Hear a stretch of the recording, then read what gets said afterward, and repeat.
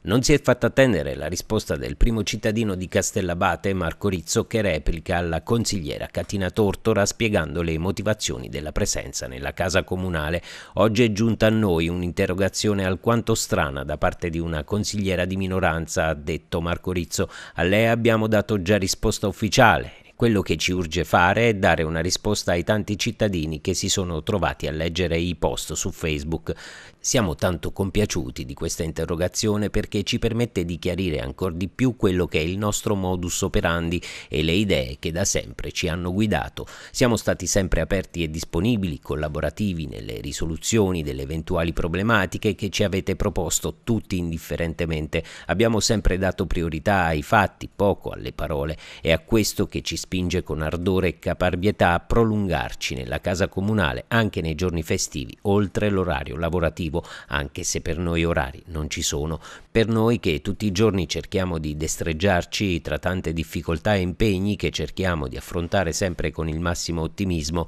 noi intanto continuiamo ad operare e agire responsabilmente e consapevolmente tutti i giorni, rassicuriamo tutti e lei in particolare che siamo ben consapevoli del ruolo che stiamo ricoprendo e siamo fieri di essere investiti da così tanta responsabilità, la stessa che ci sprona ad agire al meglio tutti i giorni nel rispetto di tutta la cittadinanza che rappresentiamo, ringraziando ancora per la possibilità che ci è stata da lei offerta, riteniamo che nella situazione in cui ci troviamo attualmente davvero bisognerebbe dare rilievo a questioni ben più importanti, priorità alle problematiche da risolvere e valore ai fatti, il resto sono parole Così conclude Marco Rizzo, il sindaco di Castellabate.